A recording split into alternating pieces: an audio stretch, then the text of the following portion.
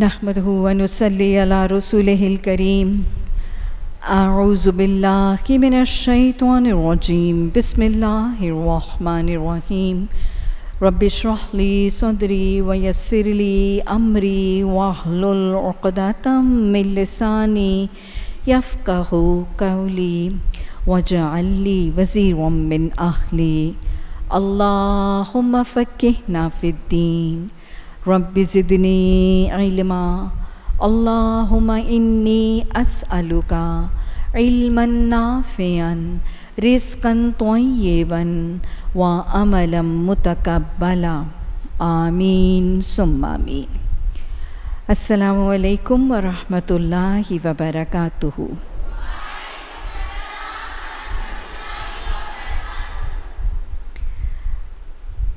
तफसीर सूरा अल बकरा रकू नंबर चार आयत नंबर थर्टी व इस कौल रब्बुक लिलमलाइकति इन्नी जाइलुन फिल अर्ज़ खलीफ़ा और जब तुम्हारे रब ने फरिश्तों से कहा कि मैं ज़मीन में एक खलीफ़ा बनाने वाला हूँ। सूरा बकरा के रकू नंबर चार में अब तख्लीक आदम अलैहिस्सलाम का किस्सा और उसके एक हिस्से का बयान। कुरान में हज़रत आदम सलाम का किस्सा सात दफ़ा मुख्तलिफ़ जगहों पर बयान किया गया है। एक दफ़ा मदनी सूरत सूरा अल बकरा में और छः दफ़ा मक्की सूरतों में। गोया ये किस्सा जो सात जगहों में बयान किया गया है, उसके हवाले से हम ये जानते हैं कि तमाम अम्बिया के किस्से, सवाए हज़रत यूसुफ़ अलैहिस्सलाम का किस्सा अहसन कसस, जो एक ही सूरत में, एक ही कॉन्टीन्यूटी में सारा वाक़ बयान किया गया है, बाकी तमाम अम्बिया के किस्से मुंतशिर अज्जा की शक्ल में, कहीं एक हिस्सा, कहीं दूसरा हिस्सा, कहीं तीसरा हिस्सा, और इन मुख्तलिफ़ मुंतशिर अज्जा को जब जमा किया जाता है तो फिर पूरी कहानी, रुदाद और किस्सा जो है वो रकम होता है। ये तस्करा जो यहाँ सूरा बकरा में किया गया है, ये तरतीब के एतबार से कुरान में पहली दफ़ा ये ज़िक्र है। लेकिन चूँकि बाकी सूरतें मक्की हैं तो वो नज़ूली एतबार से पहले और ये वाला नज़ूली एतबार से इस किस्से का आखिरी बयान है। तो अल्लाह फरमा रहे हैं कि उस वक्त का को याद करो, उस वक्त का तसव्वुर करो जब अल्लाह ने फ़रिश्तों से कहा था, तख्लीक आदम के हवाले से ख़बर दी थी।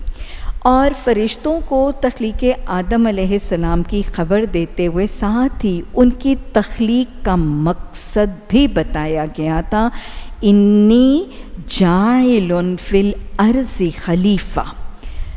कि आदम सलाम मिट्टी की खाकी वो मखलूक जो मैं बनाने लगा हूँ, उसका मकसद क्या है कि मैं उस कुर्राए अर्ज़ के लिए, उस ज़मीन में उसको अपना खलीफ़ा बनाना चाहता हूँ। गोया इस आयत को समझना बहुत ज़रूरी है, क्योंकि इसमें मेरा, आपका और तमाम बनी नौ इंसान का मकसद तख्लीक बताया गया। कोई भी मखलूक कामयाब तभी होती है जब उसको अपना मकसद तख्लीक और उसको अपना मकसद हयात समझ आए। और इस आयत को बहुत लोग मिस इंटरप्रेट करके अपना मकसद तख्लीक और अपनी ज़िंदगी का मकसद गलत समझते हैं। कुछ लोग कहते हैं कि खलीफा हुक्मरान को कहते हैं। खलीफा हुक्मरान को, बादशाह को और रूलर को कहते हैं। तो उनके नज़दीक इंसान को बनाया ही एक बादशाह, एक मालिक, एक रूलर, एक हाकिम के तौर पर बनाया गया है। लिहाजा उनके नज़दीक ये सारी की सारी नेमतें जो एक इंसान के पास खुदादाद हैं, उसका माल, उसकी उहदे उसकी हकूमत, उसकी जायदादें जो जो चीज़ें उसकी मलकियत में अल्लाह की नेमतों और इनामात में से हैं, वो उनका मालिक है, वो उनका हाकिम है और वो बादशाह है लिहाजा इस तस्वुर के मुताबिक वो ये समझते हैं कि बहसीत मालिक बहसीत अपनी ज़ाती नेमतों के मालिक और हाकिम के उसके पास इख्तियार है कि वो उन चीज़ों को जैसे चाहे इस्तेमाल करे। उनको जैसे चाहे अपनी मर्ज़ी से, अपने तसरफ में, अपने इस्तेमाल में लाए, वो ख़ुद मुख्तार है, वो आज़ाद है, क्योंकि वो मालिक है, क्योंकि वो हाकिम है, क्योंकि वो बादशाह है। ऐसा नहीं है। ये मिसकंसेप्शन है। और ये खलीफा के लफ्ज़ को गलत समझने की वजह से ये तासुर और ये ये कॉन्सेप्ट पैदा होता है। खलीफा का रूट वर्ड है खौ, लाम, फ़ा। खलफा कहते हैं पीछे।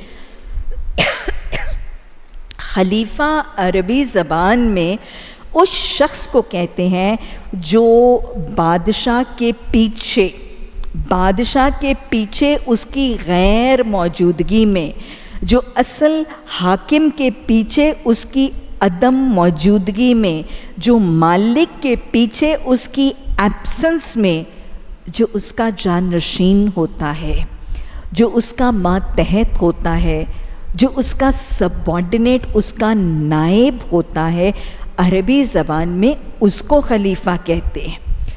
तो गोया इंसान का मकसद तख्लीक ये है कि उसको इस ज़मीन में अल्लाह सुबहाना ताला का नायब, जानशीन सबॉर्डिनेट और मातहत के तौर पर भेजा गया। अब अगर आप ज़रा सा अपना अपना जहन लड़ाएँ तो आपको ये बात समझ में आ जाएगी कि एक जानशीन, एक नायब, एक सबॉर्डिनेट क्या करता है? क्या अपनी मर्ज़ी चलाता है? क्या मनमानी करता है? नहीं ना?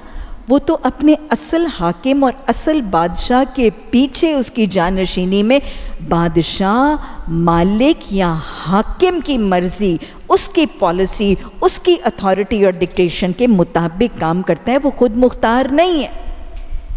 इस ज़मीन में हम मालिक नहीं हैं, हम हाकिम नहीं हैं, हम खुद मुख्तार और आज़ाद नहीं हैं।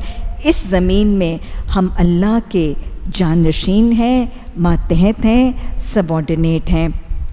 इस हवाले से हमें इन तमाम खुदादाद नेमतों को चाहे हमारा घर है, हमारा घर है, हमारी चार दीवारी है, उसमें हम उस घर के माहौल को, उस घर के टाइम टेबल और शेड्यूल को, उस घर की महफ़िलों को ख़ुद मुख्तारी से अपनी मर्ज़ी और अपनी राय के मुताबिक नहीं मनमानी के मुताबिक नहीं मन पसंद नहीं रब पसंद तरीके से उनको इवॉल्व करेंगे।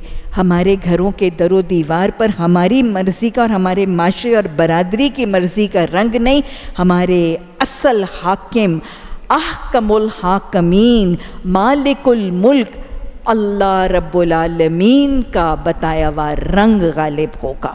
ज़मीन अल्लाह की है, इस ज़मीन पर हाकमियत इंसानों की नहीं, इस ज़मीन पर हाकमियत अल्लाह के दीन की होगी। ये है वो तस्वुर जिसको मुझे और आपको समझना है, अपने मकसद तख्लीक को समझ के।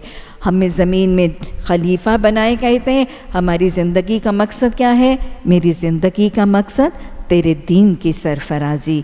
अल्लाह की ज़मीन पर अल्लाह का दीन गालिब होगा। अल्लाह की ज़मीन पर अल्लाह का निज़ाम गालिब होगा। अल्लाह की सरज़मीन पर हाकमियत अल्लाह के दीन और क़ुरान की कायम होगी। यही मेरा और आपका मकसद तख्लीक है और इसी को हमें अपना मकसद हयात और अपनी ज़िंदगी का नस्बुल एन बनाकर ज़िंदगी गुजारनी है। जब अल्लाह सुबहाना ताला ने ये ख़बर दी तो फरिश्तों ने क्या कहा? कौलू, उन्होंने कहा अतज अलूफ़ीहा मैं युफसदुफ़ीहा व यसफ़िकुद्दिमाव अल्लाह, क्या तो अब इस ज़मीन में एक और ऐसी मखलूक बनाएगा जो इसमें फसाद करेगी और इसमें खून बहाएगी और खून रेजी करेगी? तख्लीक आदम सलाम की खबर मिलते ही फरिश्तों का ये कहना कि इंसान जब दुनिया में आबाद किया जाएगा तो वो फितना, फसाद, इंतशार, बिगाड़, लड़ाई, किताल और खून रेजियाँ करेगा। ये क्यों कर मुमकिन हुआ? क्योंकि इंसानों ने ये सब कुछ किया और आज तक कर रहे हैं। गर्दनें काटते हैं, खून बहाते हैं। कभी मुसलमानों का एक गिरोह दूसरे गिरोह का, कभी यहूदियों का एक गिरोह मुसलमानों के गिरोह का। ये ज़मीन फितने से, फसाद से, खूरेजी से भरी पड़ी है। तो फरिश्तों को इस बात की खबर कैसे हुई? क्या फरिश्तों के पास गैब का इल्म था कि उन्हें तख्लीक आदम सलाम से पहले गैब के हालात पता चल गए थे कि ये ज़मीन में जब आबाद होंगे तो ये खूरेजियाँ और फसाद करेंगे? ऐसा नहीं है। आलिमुल गैब, अल्लामुल गयूब, अल्लाह सुबहाना ताला की ज़ात है। फरिश्तों के पास गैब का इल्म नहीं था जिसकी बुनियाद पर वो ये कह रहे थे। ये फरिश्तों का मुशाहिदा था।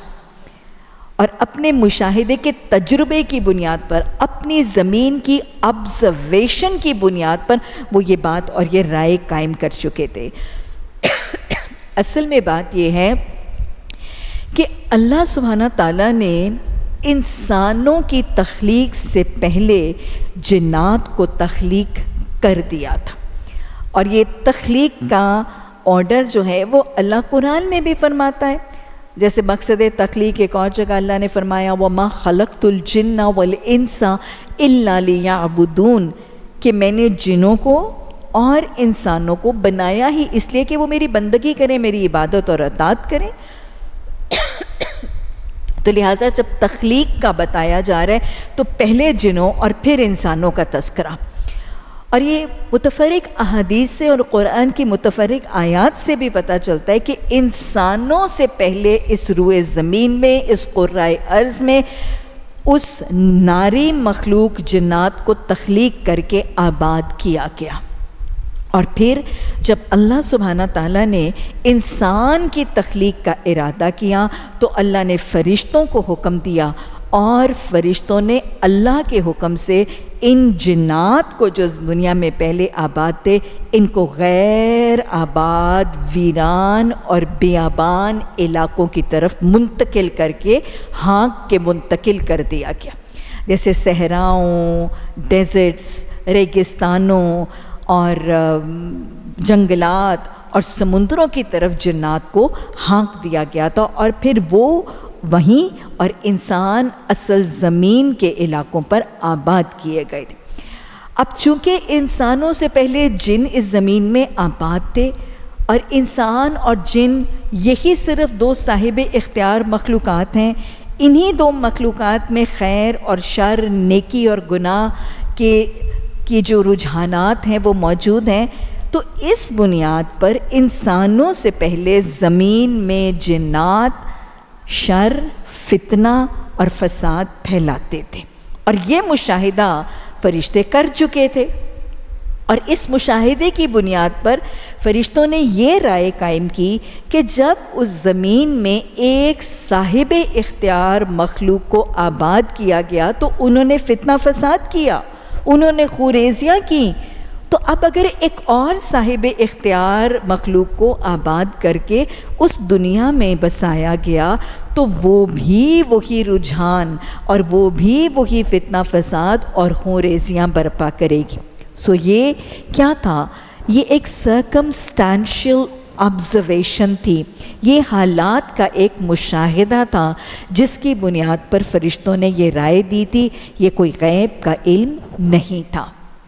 और साथ ही फरिश्तों ने दूसरी बात भी की, नाहनु नुसब हो भी हम देखा व नुकदसुलक कि अल्लाह सुबहाना ताला आपको आदम सलाम और एक खाकी मखलूक तख्लीक करने की क्या ज़रूरत है? हम हैं ना? Why must you create Adam आपको आदम सलाम की तख्लीक की ज़रूरत क्यों है? हम हैं, हम आपकी अतात भी करते हैं, हम आपकी ओबीडियंस भी करते हैं और हम आपकी हमदोसना तस्बी, आपकी पाकी बुजुर्गी, बड़ाई भी बयान करते तो why must you create another another be इस पर अल्लाह ने फरमाया, इन्नी आलम माला तालमोन। ये तुम तो मुझे कह रहे हो ना कि तुम लोग तस्वीरें करते हो, और तुम लोग मेरी बंदगियाँ और अतातें करते हो, और मुझे कोई और बींग और कोई और मखलूक क्रिएट करने की ज़रूरत नहीं है। मुझे पता है कि मैं वो दूसरी मखलूक किस गर्ज और किस मकसद के लिए क्रिएट कर रहा हूँ। फरिश्ते दो सिफात के हामिल। और भी इनके हवाले से बात होगी इन आगे जाकर। लेकिन फ़रिश्तों के हवाले से एक कुरान में है या फ़लूना मा मेरून उनको जो हुक्म दिया जाता है, वो अल्लाह की अतात करते हैं। ना फरमानी का आंसर डिसओबीडियंस शर ना फरमानी और सरकशी का आंसर ही नहीं है उनकी फितरत। वो अल्लाह को डिसबे कर ही नहीं सकते। दे जस्ट बट ओबेन उनको सिर्फ़ ओबीडियंस ही का तस्वुर उनकी फितरत में डाला गया है। और दूसरी बात यह कि फ़रिश्ते कसरत से अल्लाह की हमदो सना करते हैं और अल्लाह के सजदे करते हैं। अल्लाह के आगे सजदा रेज होते हैं। फ़रिश्तों की तस्वीर कौन सी है? नबी सल्लल्लाहु अलैहि वसल्लम की हदीस में फ़रिश्तों की तस्बीह सिखाई गई सुबहान अल्लाह व बिहमदिही सुबहान अल्लाह अज़ीम। ये वो तस्बीह है जो फ़रिश्ते कसरत से अल्लाह की हमदो सना और उसकी बुज़ुर्गी और बड़ाई बयान करने के लिए कसरत से जारी रखते हैं। और ये वो तस्बीह है जिसके हवाले से दो अहदीस ज़रूरी याद रखनी ज़रूरी हैं। एक ये कि आप सल्लल्लाहु अलैहि वसल्लम ने फरमाया, जो ये तस्बीह एक दिन में एक सौ दफ़ा करेगा, उस दिन के गुनाह अगर समुंदर की झाग के बराबर भी हुए तो वो गुनाह बख्श दिए जाएँगे। तो गोया ये तस्वीर गुनाहों की बख्शिश का ज़रिया है। और हदीस के अलिफाज हैं, कलिमातानी। दो कलिमात हैं, जो अल्लाह सुबहाना ताला को सबसे ज़्यादा महबूब हैं। और वो ज़बान पर सबसे ज़्यादा हल्के हैं, और वो मीज़ान अदल में सबसे ज़्यादा भारी हैं। हबीबा तानी शकीला तानी खफीफ़ा तानी के अल्फाज हैं इस हदीस में। और बहुत खूबसूरत राइमिंग हदीस है। इंशाल्लाह किसी और मौके पर वजाहत से बात होगी तो वो भी ये दो कलमात हैं। तो फरिश्तों ने कहा कि हम तस्बी कर रहे हैं। आपको तस्बी और अतात और बंदगी और ओबीडियंस के लिए एक और बींग क्रिएट करने की क्या ज़रूरत है? तो अल्लाह ने कहा कि मुझे मालूम है, मैं किस लिए ये मखलूक बना रहा हूँ। वाज तौर पर रसूल समझ आ रहा है कि इंसान की तख्लीक का मकसद सिर्फ़ और सिर्फ़ तस्बीहात नहीं था। इंसान को सिर्फ़ इसलिए नहीं बनाया गया था कि वो सिर्फ़ और सिर्फ़ अल्लाह की पाकी, बुजुर्गी, बड़ाई, तस्बीहात की शक्ल में, विरद की शक्ल में करते रहें। हाँ ये इंसान के लिए बहुत अफजल अमल ज़रूर है। इसका अल्लाह ने हुक्म भी दिया है और करने वालों के लिए अल्लाह ने वादा भी किया है। फ़ज़कुरूनी, अस्कुरकुम। वाला ज़िक्र अकबर अला बेज़िक्र तत्मिनकुलूब ये सब कुछ अल्लाह ने ज़िक्र के हवाले से फजीलतें, बरक़ात और फ्यूज़ बताई हैं। लेकिन इंसान की ज़िंदगी का मकसद जाइल फिल अर्ज़ी, खलीफा का मकसद सिर्फ़ और सिर्फ़ ये नहीं है कि वो तस्बीहात करता रहे। वो लंबे लंबे वजीफ़े और लंबी लंबी तस्बीहात करता रहे और कुछ भी ना करे। ये बहुत इंपॉर्टेंट ज़रूर है, लेकिन इंसान की ज़िंदगी का मकसद ये है कि उसके हाथ, पाँव, उसके जिस्म का एक एक उज़ अल्लाह के दीन, अल्लाह के बंदों की खिदमत और सरबुलंदी के लिए लगा हो और ज़बान साथ साथ concurrently at the same time ज़िक्र में मसरूफ़ हो। तो इंसान को बनाया गया था नॉट जस्ट फॉर ज़िक्र there was much more there was much more कि अल्लाह ने किसी और मकासद के लिए भी इंसान को तख्लीक किया था। आयत नंबर इकतीस, अल्लमल आदमा असमा अकुल्ला तख्लीक आदम सलाम की ख़बर देने पर वो मुकालमा और फिर आयत नंबर इकतीस में तख्लीक आदम सलाम के बाद अल्लाह सुबहाना ताला ने हज़रत आदम सलाम के साथ पहला मामला क्या किया? मिट्टी का पुतला हाक का पुतला, और फिर अल्लाह की रूह फूकी गई, और हज़रत आदम सलाम को तख्लीक किया गया।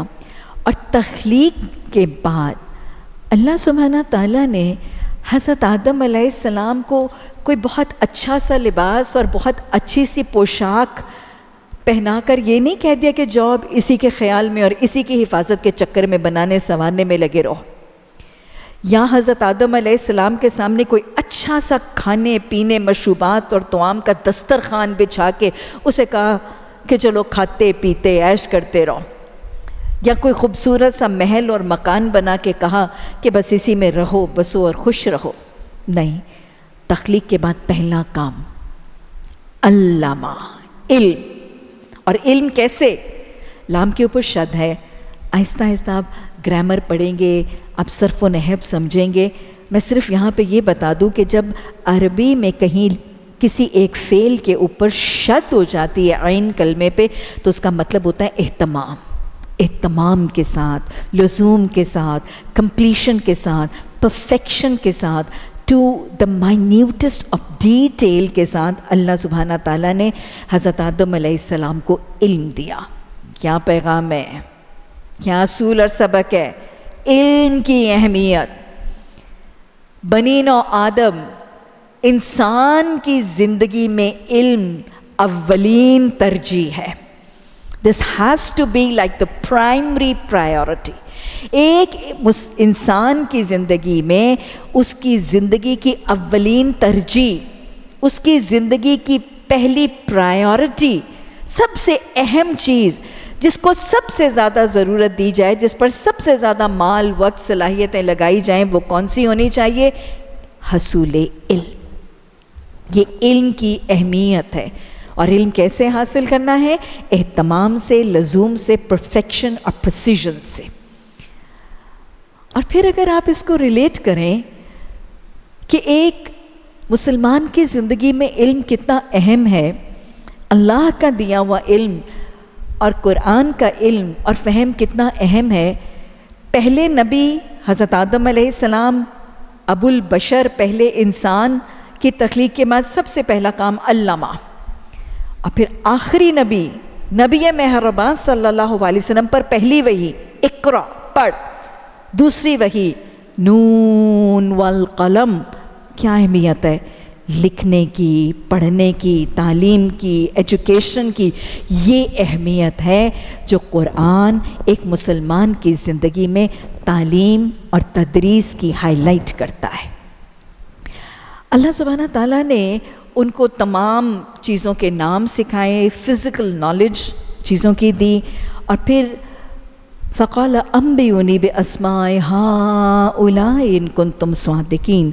हज़रत आदम सलाम को चीज़ों के अशिया के नाम देने के बाद फ़िज़िकल नॉलेज देने के बाद, अल्लाह सुबहाना ताला ने फ़रिश्तों के सामने उनको पेश किया और फ़रिश्तों से कहा कि ये जो सारी चीज़ें हैं, इनके नाम तुम बताओ।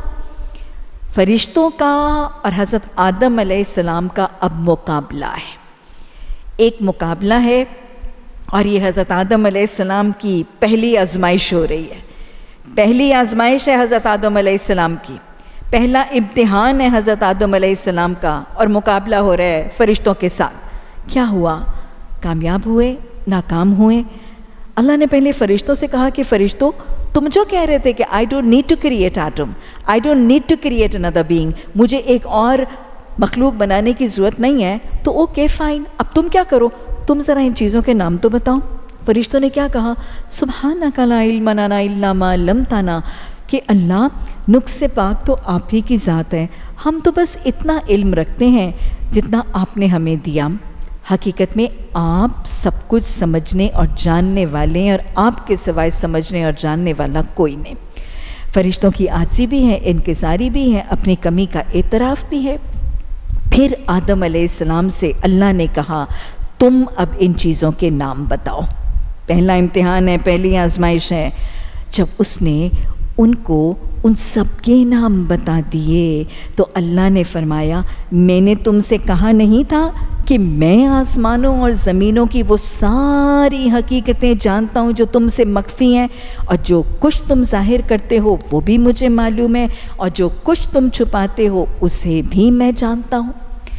कोया ये जो पहला इम्तिहान हज़रत आदम इस आजमाइश और इम्तिहान में डाले गए उस इम्तिहान में कामयाब हो गए।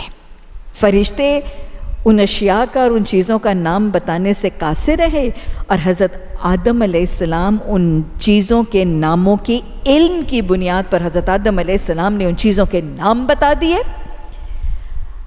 इस इम्तिहान और आजमाइश में कामयाबी किस बुनियाद पर हुई? इल्म की बुनियाद पर। इल्म की बुनियाद पर। नॉलेज याद रखिएगा दुनिया इम्तिहान का है। आजमाइशें आएँगी कभी छोटी आएँगी कभी बूढ़ी आएँगी। इम्तिहान आएँगे आजमाइशें आएँगी इस इम्तिहान गाह में तो ये चीज़ें ज़िंदगी की हकीकत हैं।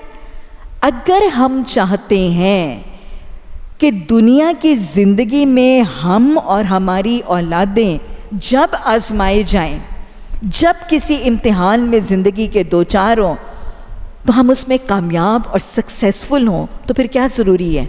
कुरान अल्लाह के कलाम और दीन के अहकाम का इल्म ज़रूरी है। अगर ये इल्म नहीं होगा तो दुनिया की ज़िंदगी के इम्तिहानों और आजमाइशों में नाकामी का इम्कान है। रब्बी ज़िदनी इल्मा। आयत नंबर थर्टी फोर। व इस कुल नलमला एक जुदूली आदमा फसजदू इल्ला इबलीस अब जब हज़रत आदम सलाम का और फरिश्तों का मुकाबला हुआ, इम्तिहान और आजमाइश में हज़रत आदम सलाम पूरे उतरे और कामयाब हो गए तो उसके बाद अब एक अगला मरहला। अल्लाह फरमा रहा है कि हम, हमने फरिश्तों से कहा कि तुम आदम सलाम को सजदा करो। ये हुक्म अल्लाह सुबहाना ताला ने तमाम फरिश्तों को दिया। हुक्म क्यों दिया गया? असल में हम ये बात जानते हैं कि फ़रिश्ते अल्लाह के मुती फरमान है और कायनात का सारा निज़ाम चलाने के लिए अल्लाह ने मुख्तलिफ़ फ़रिश्ते मुकर किए हैं। जैसे हवाओं का फ़रिश्ता, बादलों का फ़रिश्ता, बारिश का फ़रिश्ता, दरियाओं का फ़रिश्ता, पहाड़ों का फ़रिश्ता, खेतियों का फ़रिश्ता, मुख्तलिफ़ चीज़ों के शोबहाए कायनात के मुख्तलिफ़ फ़रिश्ते हैं। वो उन चीज़ों के इंचार्ज हैं, जिनको वो अल्लाह के हुक्म से कंट्रोल करते हैं, चलाते हैं। निगरानी, निगेदार, सर्वेलेंस, मॉनिटरिंग और उनको चलाने का काम करते हैं। अल्लाह सुबहाना ताला ने जब सारी के सारे फरिश्तों को हज़रत आदम सलाम को सजदे का हुक्म दिया और उन सबने अल्लाह के हुक्म की अतात करके हज़रत आदम सलाम को सजदा कर लिया। तो मतलब क्या था कि फ़रिश्तों फ़रिश्तों से आदम सलाम की बरतरी को साबित करना मकसूद था। और आपको पता है कि जब किसी एक महकमे या किसी एक डिपार्टमेंट का सरबराह या लीडर किसी शख्स की बर्तरी और सुपीरियोरिटी को तस्लीम करता है तो पूरा महकमा ही उसकी सुपीरियोरिटी को तस्लीम करता है। ऐसे है कि नहीं? तो अल्लाह सुबहाना ताला ने फरिश्तों से सजदा करवा के, फरिश्तों के ज़रिए हज़रत आदम सलाम की बर्तरी का एतराफ़ करवा के, गोया पूरी कायनात से, पूरी यूनिवर्स से हज़रत आदम सलाम की बर्तरी, उनकी फ़ोकियत, उनकी सुपीरियॉरिटी उनकी सुप्रेमसी उनका अशरफुल मखलूक़ात होना, उनका द सुपीरियर बीइंग होना साबित कर दिया गया। समझ में आई बात कि ये सजदा क्यों करवाया गया था? हज़रत इंसान के अशरफुल मखलूक़ात होने को साबित करने के लिए करवाया गया था। अब अगला सवाल। इंसान अशरफुल मखलूक़ात फिर किस चीज़ की बुनियाद पर बना? उसकी कौन सी सिफ्त? उसका हुसन, उसका लिबास? नहीं, उसका इल्म। हज़रत आदम सलाम अगर मसजूद मलाइका बने, अगर बनी नौ आदम अशरफुल मखलूक़ात के दर्जे पर रहना चाहती है तो इल्म का हसूल ज़रूरी है। अगर हम चाहते हैं, जो अल्लाह फरमाता है लक़त खलक नल इंसान नफ़ी अहसनी तकवीम, कि मैंने इसको बेहतरीन साख पर बनाया है, इसे अशरफुल मखलूक़ात बनाया इसको सुपीरियर बींग बनाया अगर हम उस दर्जे पर रहना चाहते हैं तो फिर क्या ज़रूरी है? इल्म का हसूल ज़रूरी है। ये बिल्कुल वही है, जो कहा गया ना, फरिश्तों से बेहतर है इंसान बनना मगर इसमें लगती है मेहनत ज़्यादा। कौन सी मेहनत है? हसूल इल्म की मेहनत और उस इल्म पर अमल की मेहनत और उस इल्म की दावत और तबलीग की मेहनत। ये वो मेहनत है जो इंसान को वाकई फरिश्तों से अशरफ और मसजूद मलाइका बना देती। तमाम फरिश्तों ने सजदा किया। फसजदो। अभी मैंने आपको बताया फरिश्ते तो इनकार करते ही नहीं, उनकी तो फितरत में इनकार नहीं है फर्मा बरदारी उनके सरिश्त में तमाम फरिश्तों ने सजदा किया।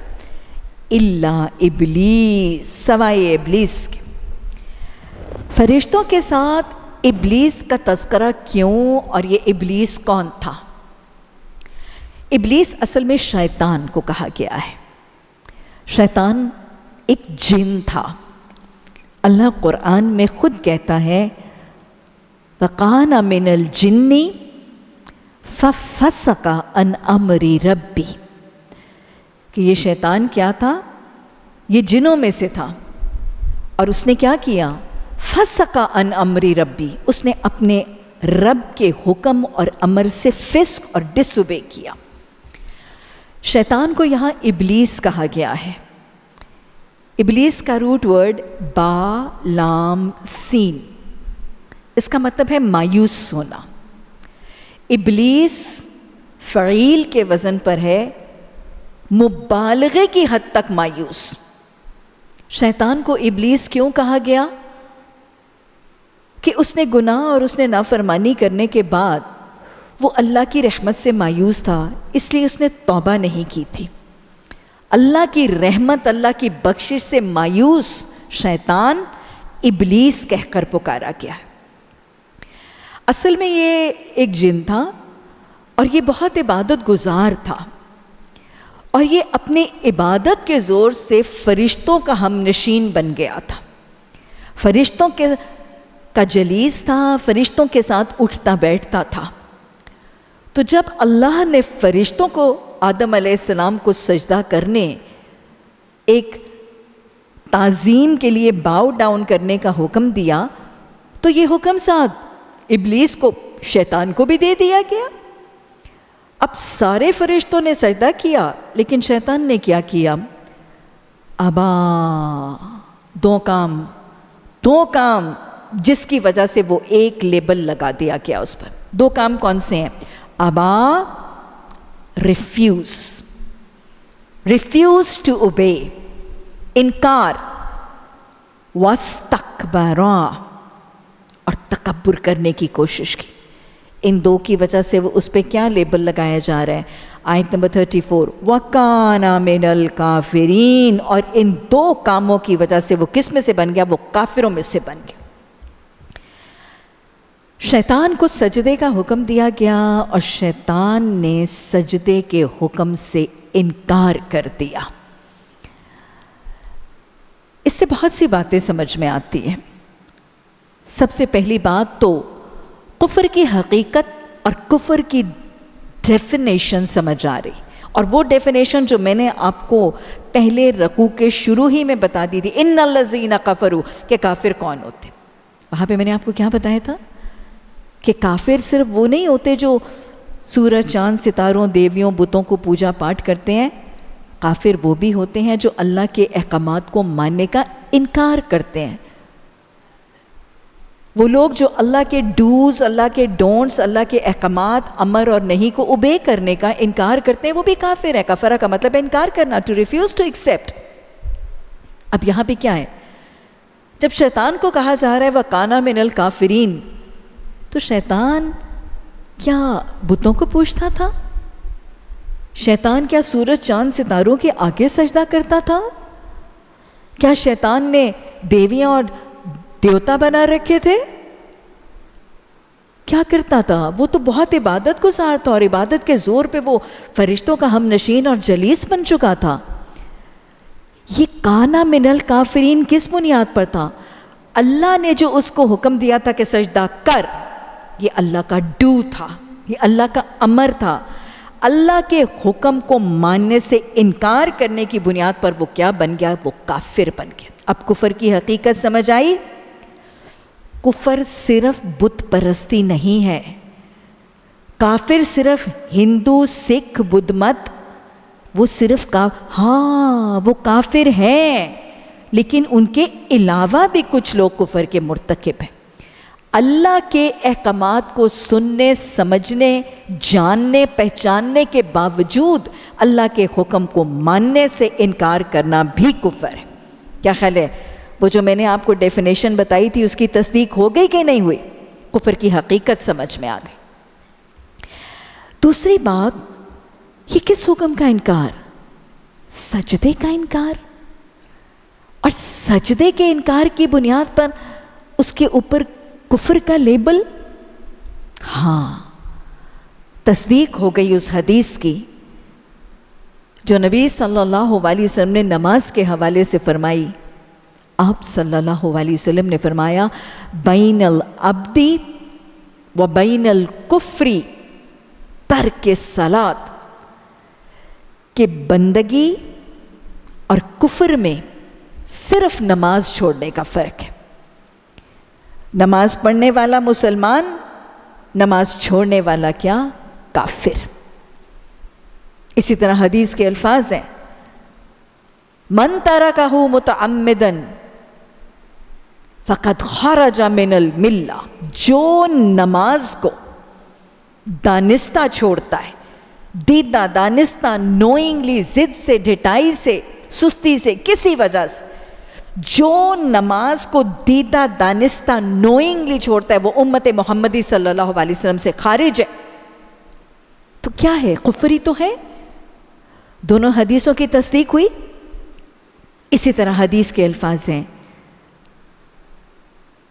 कि जो बेनमाजी होगा, क़यामत के दिन बेनमाजी के लिए ना नूर होगा, ना फुरकान, ना बुरहान। और बेनमाजी का हिसाब कारून फिरआन हामान, उबई बिन खल्फ के साथ होगा। क्यों? क्योंकि वो काफिर है। तस्दीक हो रही है इन तमाम हकीकतों की, और फिर इससे नमाज़ की अहमियत भी पता चल रही है। सजदों की फजीलत, नमाज़ की अहमियत पता चल रही है। ये हुक्म जो सजदे का दिया गया, ये तो अल्लाह को भी सजदे का हुक्म नहीं था। ये तो एक सजदा ताजीमी था जो आदम सलाम को करने का हुक्म था। उस एक सजदे का इनकार उसको काना मिनल काफरीन बनाता है। उसको जन्नत से निकालता है। क्या कहा था अल्लाह ने? फ़ख्रुज मिन्हा, निकल जा तू जन्नत से। मजूम मधूरा, धुतकारा हुआ लानत जदा। क्या कहते हैं हम तस्मिया में शैतान को? शैतान रजीम तो ये अंजाम है सजदों को तर्क करने का। ये अंजाम है नमाजों को छोड़ देने का। एक और हदीस की तस्दीक हुई ना? असलातु मिफ्ताहुल जन्ना। नमाज़ जन्नत की कुंजी है। नमाजें छोड़ोगे सदे छोड़ोगे, जन्नत में दाखला नहीं है। जहन्नुम से खरू, जन्नत से खरूज है, जहन्नुम में दाखला है।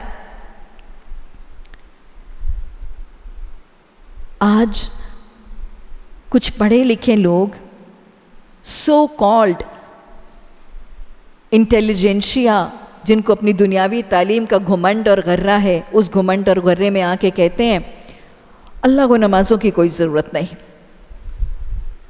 इस उठक बैठक की कोई ज़रूरत नहीं, अल्लाह को। हम सब कुछ ठीक करते हैं। हम ना झूठ बोलते हैं, ना हम चोरी करते हैं, ना हम बेईमानी करते हैं, ना धोखा फ्रॉड करते हैं, ना हम जुल्म ज़्यादती करते हैं। हम सब कुछ ठीक करते हैं, ना रिश्वत लेते हैं। तो इस उठक बैठक की कोई ज़रूरत नहीं जो मौलवी कहते रहते हैं। ज़रूरत नहीं? अगर ज़रूरत ना होती तो क़यामत के दिन हिसाब किताब के वक्त, अल्लाह के हकूक़ के हिसाब के वक्त पहला सवाल नमाज़ होता? नमाज़ जन्नत की कुंजी होता? और एक सजदा, जो लोग ये कहते हैं कि अल्लाह को नमाजों की ज़रूरत नहीं, उनको आदम सलाम का ये किस्सा और शैतान का ये अंजाम एक सजदा ना करने पर उसका अंजाम बता दीजिए। आदम सलाम को अल्लाह के हुक्म पर एक सरदा ताजीमी ना करने वाले को काना मिनल काफरीन, फ़खरुज, जन्नत से निकल जा मजूम मधूरा बना दिया गया था। नमाजों की अहमियत हाईलाइट हो रही है। रब्बी जान ले मकी मसलाती व और फिर दूसरा काम शैतान ने क्या किया था? वस तक रूट वर्ड है, काफ, बा, रॉ। और सीन और ता का मतलब है किसी चीज़ की कोशिश करना एफर्ट करना, सही करना। मुस्तकबरा का मतलब है बड़ा बनने की कोशिश करना।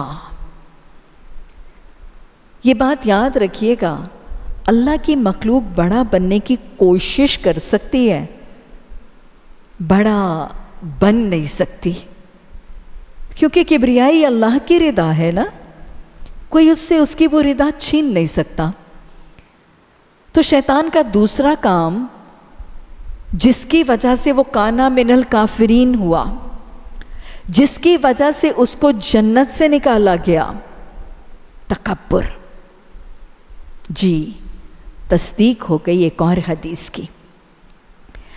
नबी महरबा सल्लल्लाहु अलैहि वसल्लम ने फरमाया जिसके दिल में राई भर भी तकबर होगा, वो जन्नत में दाखिल नहीं होगा। ये शैतान का तकबर था।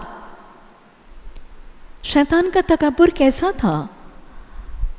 ये जब सब मकालमा हुआ ना तो अल्लाह सुबहाना ताला ने शैतान से पूछा, माँ मना का शैतान तुझे किस चीज़ ने मना किया कि तूने आदम सलाम को सजदा नहीं किया? तो उसने क्या कहा था? अना खैर मिन, मैं इससे बेहतर हूँ। खलक नहीं मिन नारिन व खलकता हो मिन तीन। अल्लाह तूने इसको मिट्टी से बनाया और मुझे तूने आग से बनाया। मैं इससे बेहतर हूँ। ये तकबर था। ये तकबर था। अच्छा तकबर की डेफिनेशन भी आपको समझ आ जाएगी। इसी वाक्य से। हदीस में आता है कि सहाबा ने अल्लाह के रसूल सल्लल्लाहु अलैहि वसल्लम से सवाल किया कि रसूलुल्लाह सल्लल्लाहु अलैहि वसल्लम, हम सब की ख्वाहिश होती है कि हमारा लिबास अच्छा हो। मतलब हम अच्छे कपड़े पहने और हमारे हाथ में जो कोड़ा है, वो अच्छा हो। उस ज़माने में हाथ में कैरी करने वाली चीज़ कोड़ा हुआ करती थी। आज मोबाइल्स हैं हैंड बैग्स हैं सबका दिल करता है, हमारा हैंड बैग डिज़ाइनर हो, हमारे हमारे मोबाइल्स लेटेस्ट ब्रांड के हों तो उन्होंने यही कहा कि हमारा दिल करता है कि हमारा लिबास अच्छा हो, हमारे हाथ का कोड़ा अच्छा हो तो क्या ये तकबर है? आप सल्लल्लाहु अलैहि वसल्लम ने फरमाया, अल्लाह साहिब जमाल है, और अल्लाह जमाल को पसंद करता है, ये तकबर नहीं। अच्छा पहनने, ओढ़ने अच्छा पोजेशंस ये ख्वाहिश, ये तकबर नहीं है। आपने फरमाया, बल्कि तकबर क्या है? दो चीज़ें। बतर हक व गम तन्नास अल्लाह के हक अहकाम का इनकार करना। और अल्लाह के सारे ही अहकाम हक हैं। अल्लाह के डूज अल्लाह के अहकाम का इनकार करना एक। गम तन्नास अल्लाह की मखलूक में से किसी को अपने से हकीर समझना। यही किया था ना शैतान ने? यही दो काम किए थे। सजदा कर, नहीं करूँगा। ये बतरल हक था। गम तन्नास मैं आदम अलैहिस्सलाम से बेहतर हूँ। ये गम तन्नास था। ये दो काम जब शैतान ने किए तो उसको तकबर की सज़ा मिली और तकबर जिसके दिल में आया, चाहे राई के दाने के बराबर आया, हदीस के मिस्ताक पर उसको जन्नत से निकाल दिया गया। अल्लाह हमें आजी अता फरमा। अल्लाह तकबर से बचा, गरूर से बचा, घुमंड से बचा, फ़ख्र करने, अकड़ने, इतराने से बचा। आजी इनकसारी अता फरमा। ये नमाज़ों को हमारी इनकसारी की तरबियत का ज़रिया बना। अल्लाह अपने आगे झुकने वाला बना। बंदों के आगे भी आजी से झुकने के तरीके और ज़र्फ़ अता फरमा। आयत नंबर थर्टी फाइव अब जब शैतान के साथ ये मकालमा हुआ इन ये मकालमा आगे जाकर और वजाहत से हम सूरह राफ में और कुछ और सूरतों में भी पढ़ेंगे। उधर अल्लाह सुबहाना ताला ने अब आदम सलाम को एक और हुक्म याद मुस्कुन अंत वजल जन्ना। अल्लाह सुबहान ताला ने आदम सलाम से कहा कि आप, तुम और तुम्हारी बीवी, ये कौन है? हसत हवा सलाम तुम और तुम्हारी बीवी, तुम दोनों जन्नत में रहो। और यहाँ क्या खाओ? वकुला तुम दोनों खाओ। मिन्हा, किसमें से? जन्नत में से। रगदन, खुल्ला। हाई सुशे तुमा जहाँ तुम दोनों चाहो खुल्ला, जो, जब, जहाँ, जैसे चाहे तुम दोनों खाओ। ये जन्नत। है वला और ना तकरबा तुम दोनों करीब ना जाना। तस्निया का जो सीगा है ना, यहाँ उसकी बहुत प्रैक्टिस है। तुम दोनों करीब ना जाना। किसके? हाँ से हिस्सा जरा था उस दरख्त के। क्या होगा?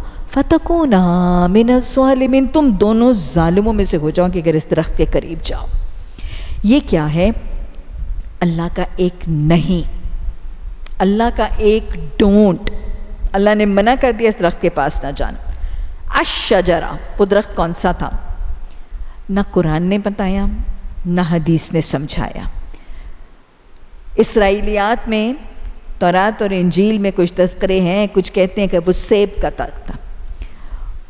और ईसाई कहते हैं कि वो सेब का दरख्त था, हज़रत आदम सलाम ने वो सेब के दरख्त का फल जब खाया जब पता चला कि अल्लाह को उसकी खबर हुई है, और वो जल्दी जल्दी निगलने की कोशिश की तो उनके हलक में फंस गया।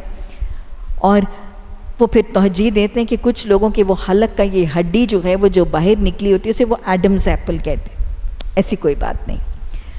और फिर कुछ कहते हैं कि ये गंदम का पौधा था। और ये गंदम और गेहूँ और अनाज खाने की वजह से फजलात और वेस वगैरह जो है उसमें गंदगी और नापाकी का मामला हुआ। ऐसा भी मामला ना वो सेब का पौधा, दरख्त और ना ही वो गंदम का पौधा। कुछ हकीकत ना कुरान में बताई गई है, ना हदीस में बयान की गई तो हमें उसकी कुरेद और टो में जाने की ज़रूरत ही नहीं है। असल बात यह है, ये दरख्त असल में एक एक अलामत है। एक अलामत है जो दिखा रहा है अल्लाह के ला को, अल्लाह के डोंट को, अल्लाह की नवाही को कि जो अल्लाह की नवाकी और अल्लाह के डोंट्स का एहतराम नहीं करेगा, उसका अंजाम क्या होगा? ये सिग्निफाई करता है द डोंट्स ऑफ़ अल्लाह, नवाही अल्लाह की। अब जब अल्लाह ने यह कह दिया कि इस दरख्त के करीब मत जाना तो फिर क्या हुआ? फ़ज़ल्लाशैतान अनहा। शैतान ने इस दरख्त के बारे में इन दोनों को बहका दिया। फ़ज़ल्लाहुमा फिर तस्निया शैतान ने दोनों को बहका दिया। शैतान ने कैसे बहकाया था? असल में शैतान का तरीका ये, मकालमा हुआ, उसने कहा कि मैं अब इनके जन्नत के रास्ते पे बैठूँगा। तो वो शैतान हज़रत आदम सलाम के साथ उठने, बैठने, मेल, जोल बढ़ाने लगा। दोस्ती की पींगें और दोस्ती की तरह डालने लगा। जब हज़रत आदम सलाम को अपनी दोस्ती पर यकीन दिलाने में कामयाब हो गया तो एक दिन ऐसे जैसे रोता रोता आया। शुगर कोटेड तरीके से हमला करता है शैतान। रोता रोता आया और उसने हज़रत आदम सलाम से ये सब तस्करा इन आगे जाके आएगा कि मुझसे आपकी हालत ही नहीं देखी जाती। आप हमेशा जन्नत में नहीं रहेंगे और आप हमेशा ज़िंदगी आपको नहीं मिलेगी। और मैं आपकी इस हालत से बहुत परेशान हूँ। और फिर साथ ही कहा कि देखें, वैसे मेरे पास एक नुस्खा है। अगर आप वो नुस्खा अपना लेंगे तो आप फरिश्तों की तरह आपको हमेशगी की ज़िंदगी मिल जाएगी और आप हमेशा इस जन्नत में रहेंगे और जन्नत से नहीं निकाले जाएँगे। अब ज़ाहिर है वो टेम्पटेशन दिलवाई और इस पर जब हज़रत आदम सलाम उस टेम्पटेशन में फ़ाज़ल्लाहुमा दोनों को धोखा दिया तो शैतान ने कहा कि इस दरख्त का फल खा लें। और फिर वो फल शैतान के धोखे में आकर हज़रत आदम सलाम ने खा लिए। हमें पता चलता है फिर उसके बाद क्या हुआ? उनके जन्नत के लिबास खुल गए। व तोफ़िक यख्तिफ़ानी में वरकिल जन्ना, वो जन्नत के पत्तों से अपना जिसम ढांपने लगे क्योंकि हया एक फितरी जज्बत अगली बात जो वाज तौर पर समझ में आ रही है, शैतान के धोखे में दो बातें जो समझनी ज़रूरी है। शैतान के धोखे में सिर्फ़ उन दोनों में से, अजवाज में से एक नहीं, दोनों उसके धोखे में आए थे। बहुत से लोग इस बात पर तनकीद करते हैं और नुकता चीनी ख़वातीन के हवाले से करते हैं कि शैतान ने हज़रत हवा को बहकाया था और जौजा मोहतरमा को बहकाया था और फिर वो बहकी थी और फिर उन्होंने शोहर को बहकाया था और मिसगाइड किया ऐसा नहीं हुआ दोनों को बहकाया था शैतान ने। सिर्फ़ औरत फितना नहीं है, सिर्फ़ औरत फसाद नहीं है शर का, ये दोनों शैतान के वसवसे का शिकार हुए थे। और शैतान के वसवसे का शिकार क्यों हुए थे? वजह क्या थी? इल्म की कमी। हज़रत आदम सलाम और उनकी जौजा मोहतरमा को इस दरख्त की हकीकत के बारे में पूरा इल्म नहीं था। अगर उनको हकीकत का इल्म होता और उनको यकीनी इल्म और नॉलेज से पता होता कि इसका फल खाने से हमेशगी की ज़िंदगी और दवाम की ज़िंदगी नहीं मिलेगी तो वो कभी उसके धोखे में ना आते, कभी उसके जाल में ना फंसते। असूल समझ में आ रहा है? शैतान तो हमले करेगा। शैतान के हमलों, उसके उकसाहटों, उसके वसवसों से बचने के लिए इल्म का हसूल ज़रूरी है।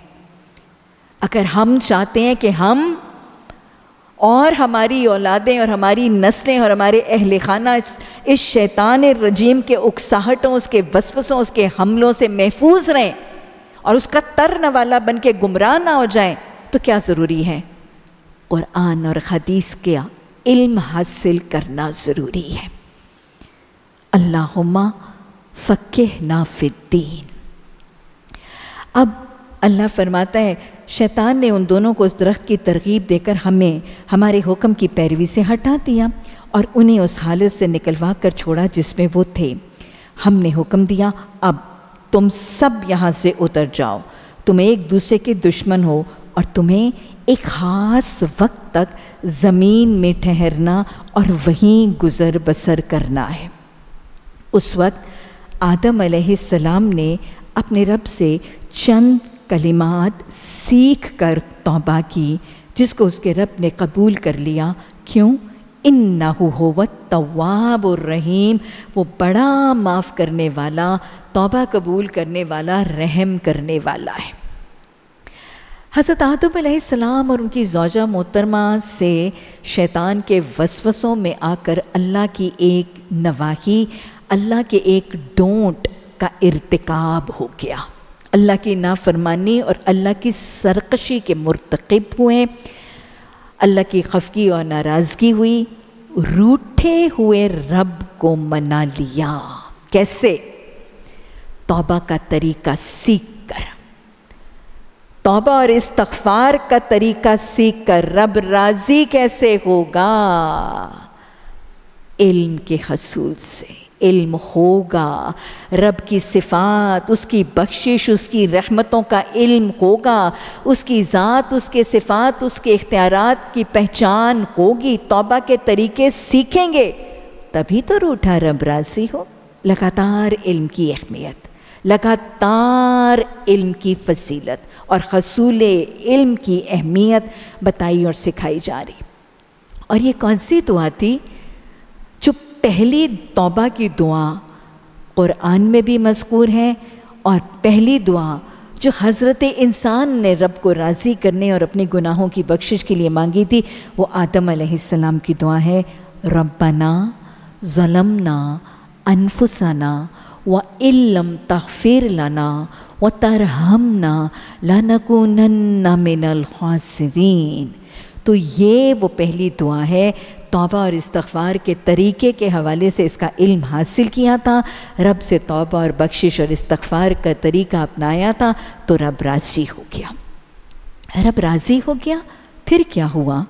आयत नंबर थर्टी एट कुल्लाह पे तुम इन्हा जमिया। तुम सब के सब अब जन्नत से निकल जाओ। और जन्नत से निकल के दुनिया में जाओगे कुरा ईयर्स में आबाद होगे तो क्या करना? फ़ फ़िम्मा यातियन्नकुम हुदन।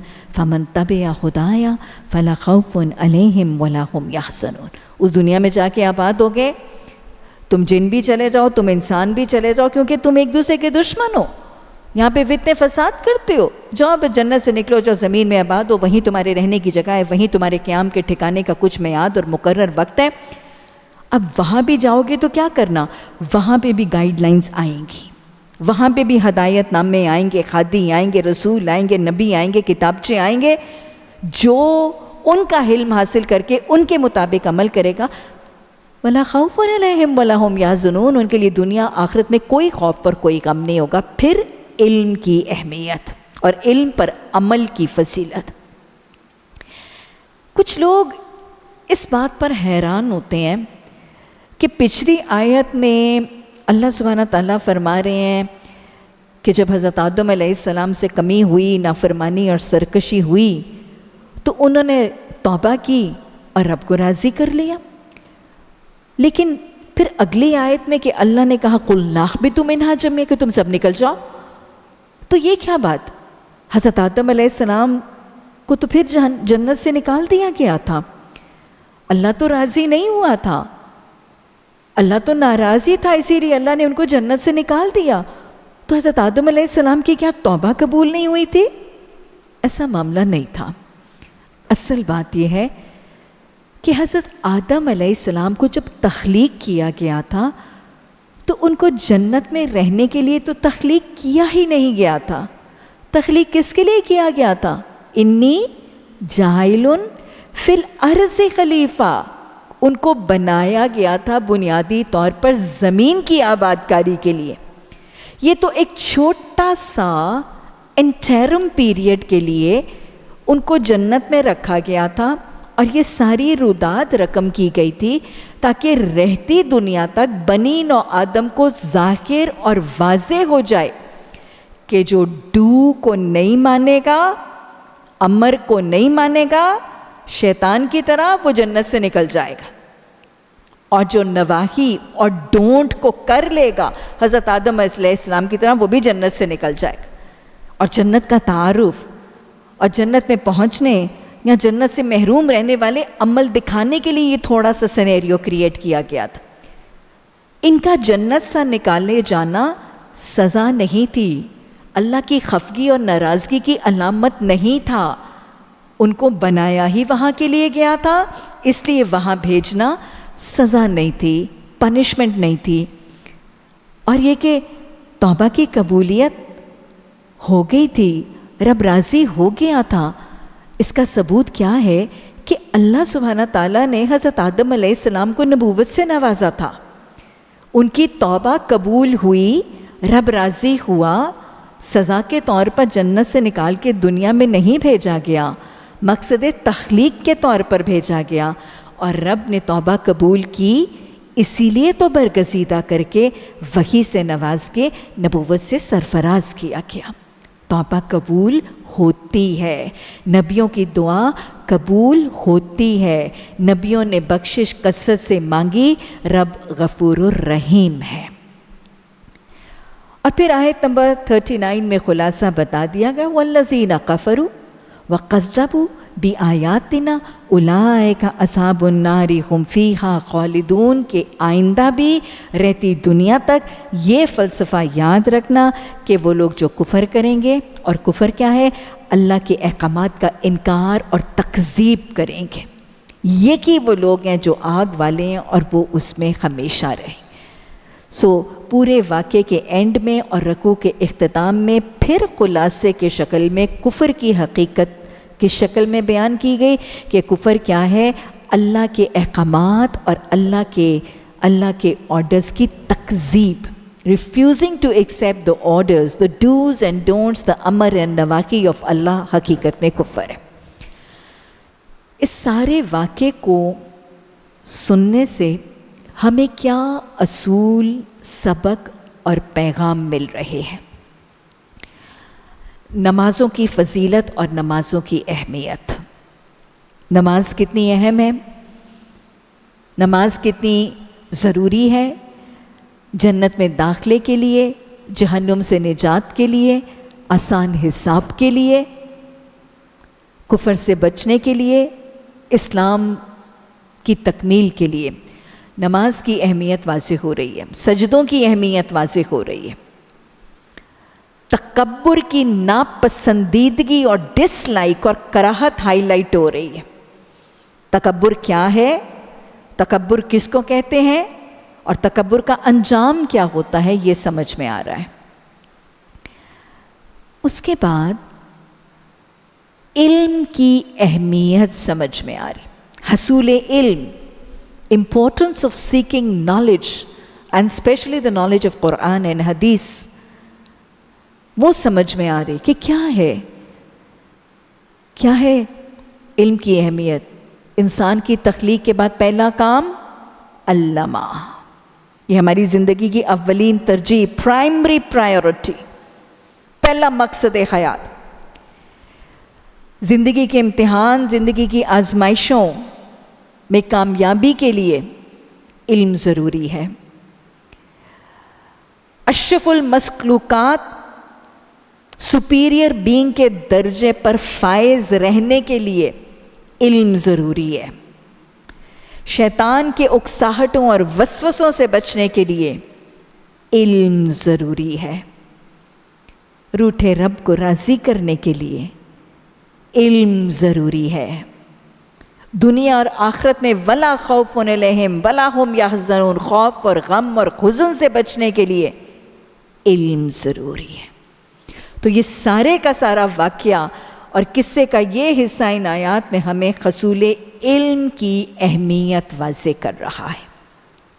और फिर अल्लाह की नाफरमानी और तौबा के तरीक़ों को वज़ा कर रहा है। ख़ता कैसे करनी है? और ख़ता के बाद क्या करना है और क्या नहीं करना, वो ये वाक़ मुझे और आपको बड़े वाज तरीके से सिखा रहे क्योंकि ख़ता हुई, दोनों से हुई। आदम सलाम से भी हुई, शैतान से भी हुई। दोनों के अंदर ख़ता का तस्वुर है ना? फ़लहमा फजूर रहा मतकवाहा दोनों चीज़ें हैं। तो ख़ता दोनों ने की वजह भी फ़र्क थी, रवैया भी फ़र्क था, अंजाम भी फ़र्क था। शैतान ने जो ख़ता की थी और सरकशी की थी, वो दीदा दानिस्ता की थी। दीदा दानिस्ता नोइंगली जिद और ढिटाई से की थी। उसको पता था कि मैं इनकार कर, जानते बूझते की थी। हज़रत आदम सलाम ने ख़ता ना जानते हुए की थी। भूल चूक से हुई थी, धोखे से हो गई थी, गैर इरादी तौर पर अनोइंगली हो चुकी थी। दीता दानिस्ता नहीं की थी, गैर इरादी तौर पर हो गई गलती। फिर शैतान ने नोइंगली करने के बाद वो अपनी खता पर जम गया था, डट गया था, जिद से अकड़ गया था। उसने अपनी कमी को माना नहीं था। उसने इतराफ़ नहीं किया था, बल्कि उल्टा हम आगे जाके पढ़ेंगे, उसने तो नाउज़बिल्ला इल्ज़ाम अल्लाह पे लगा दिया। उसने कहा फ़ब अगमा फ़ब माँ अगवई तन अल्लाह तूने मुझे गुमराह किया। ना तू आदम बनाता, ना तू सजदे का कहता, ना मैं इनकार करता, ना मैं इस मुश्किल में फंसता। ये तो किया धरा ही नाउज़बिल्ला अल्लाह सब तेरा है। तो शैतान का तरीका यह कि ख़ता करने के बाद उसने इतराफ़ नहीं किया एक्सेप्ट नहीं किया, नादिम नहीं हुआ, पशेमान नहीं हुआ। तोबा नहीं की इस्तफार नहीं किया, रब की तरफ़ पलटा नहीं। आदम सलाम से भी हुई, लेकिन करते सार नातिम हो गए। लम यसिरु अला मा फालू, इसरार ने किया कि अल्लाह मैंने ठीक किया, मैंने कौन सी ऐसी गलती की? फली तो खाया है मैंने। नहीं, ना इसरार है, बल्कि एतराफ़ है। और इतराफ़ के बाद नदामत थी पशेमानी थी और फिर तोबा और इस्तफार था। अंजाम में क्या फ़र्क? वो शैतान फ़खरुज निकल जा जन्नत से। मजूम मधुर धुतकारा हुआ लाना ज़्यादा शैतान रजीम बन गया, अल्लाह ने कहा अमला अन्ना मिन को मजमईन मैं तुम समेत तुम्हारी सारी नस्लों को जहन्नुम में भर दूँगा। और आदम सलाम नबूवत से नवाजे गए, वही से नवाजे गए, बख्शिश के वादों से नवाजे गए। अब समझ में आ गई? हम मट्टी के पुतले हैं, ख़ता के पुतले हैं। ख़ताएँ तो होंगी। ये तो सरिश्त में, ये तो फितरत में। हदीस कहती है ना, कुल्लो बनी आदमा ख़तान, सारे के सारे बनी आदम ख़ताकार हैं। खैरुल ख़ातीन तब्बाबून बेहतरीन ख़ताकार वो हैं जो तौबा करते तो ख़ताएँ तो होनी है। कमियाँ कोताहियाँ ख़ताएँ तो होनी है। कैसे नहीं करनी? शैतान के तरीके से नहीं करनी। दीदा दानिस्ता जानते, बूझते, अकड़ के, घुमंड करके नहीं करनी। हाँ भूल चूक से हो जाए, गैर इरादी तौर पर हो जाए तो हो जाए। फिर, अगर हो गई तो क्या नहीं करना? बाद में भी ज़िद से जमे नहीं रहना। अपने आप को कवर नहीं करना। अपने आप को जस्टिफाई नहीं करना। अपने ऐप पे पर्दा डाल के उसको सही नहीं कहना। हज़रत आदम सलाम की तरह उस गुनाह को मान लेना है। अल्लाह मुझसे कमी हुई, अल्लाह मुझसे कोताही हुई। और फिर पशेमान होने, अल्लाह मैंने कर क्या लिया? मुझसे हो क्या गया? मैंने कर कैसे ली तेरी शान में ये नफरमानी? और फिर अल्लाह से बख्शिश तलब करनी है। कुरान के अल्फाज में मसनून अल्फाज में तोबा और इस्तफ़ार को अपना तरीका बनाना है, इसलाह का वादा करना जब रवैया शैतान जैसा होगा तो अंजाम भी शैतान जैसा होगा। उलाए का साबुन्नार खम्फी हा खालिदून। और अगर रवैया आदम सलाम जैसा होगा, फ़ला अलैहिम वला हम यहज़नून। अल्लाहुम्मा जअलनी मिन तवाबीना व जअलनी मिनल मुततहिरीन अल्लाह सुबहाना ताला हमारे लिए नेकी का रास्ता आसान बना दे। अल्लाह गुनाह से रुकना आसान कर दे। इलाही गुनाह, गुनाहों की पहचान और कराहत अता फरमा दे। अल्लाह गुनाह करना अब मुश्किल बना दे। नेकी पर चलना आसान कर दे, गुनाह करना मुश्किल बना दे। अल्लाह नेकी का रास्ता, इसकी रुकावटें दूर कर दे। असा इस रस्ते पर हमें बेहतरीन साथी, बेहतरीन मुआविन मददगार अता फरमा दे। बेहतरीन काफ़लों का हमें साथी बना दे। अल्लाह इस नेकी के रास्ते पे चलते चलते साबित कदमी से, पुख्तगी से अल्लाह हम सबको अपने अगले पिछलों के साथ जन्नत के बाला खानों में जमा फरमा देना। इलाही, कमियाँ कोताहियाँ करें तो इस्तफ़ार की तोफ़ी अता फरमा। इतराफ़ ख़ता करने वाला खुश नसीब बना। अल्लाह ज़िद से बचा, अकड़ और तकबर से बचा ढिटाई और अनानियत से बचा। अल्लाह कुफर को निकाल के ईमान में पुख्तगी और साबित कदमी अता फरमा। इलाही अपनी पहचान अता फरमा, अपनी ज़ात, अपनी सिफ़ात, अपनी कुदरत, अपने कमालात की पहचान, बुरहान, फुरकान, ईमान अता फरमा। इलाही ईमान के साथ अमल स्वाले की तोफ़ी अता फरमा। इलाही हमारे दिलों को बदल दे, हमारी सोचों को बदल दे, हमारी तरजीहात प्रेफरेंसेस और प्रायोरिटीज़ को बदल दे मोहब्बतों के पैमाने बदलते, फ़िक्रों के पैमाने बदलते, ये सब बदल के इलाही हमारे दिल बदल दे, इलाही हमारी सोचें बदल दे, हमारे रवैये, हमारे अखलाक बदल दे, हमारे मामलात में, हमारे अखलाक में, हमारी इबादत में हुसन अता फरमा दे। इलाही ये सब बदल के हमें ऐसा बना दे कि हम तुझे पसंद आ जाएँ। इलाही ये सब बदल के हमें अपने रंग में रंग ले। इलाही हमें अपने काम का बना ले। काम का बना के हमें अपने काम के लिए कबूल फरमा ले। हमें अपने काम में लगा ले। रब्बना, तकब्बल मिन्ना इन्ना का अंत समीम व तुब अलैना इन्ना का अंत तवाबुर्रहीम रब्बना, ला तुझे कलूबना। बाद इस हदैतना वहब लना मिल्लत उनका रहमा इन्ना का अंतुलवहाब सुबहानकल्लाहुम्मा व बिहम्दिका नशहदु अन ला इलाहा इल्ला अंता नस्तगफिरुका व नतूबु अलैक सुबहान रब्बिका रब्बिल इज़्ज़ति अम्मा यसिफून व सलामुन अलल मुरसलीन वल्हम्दुलिल्लाहि रब्बिल आलमीन आमीन सुम्मा आमीन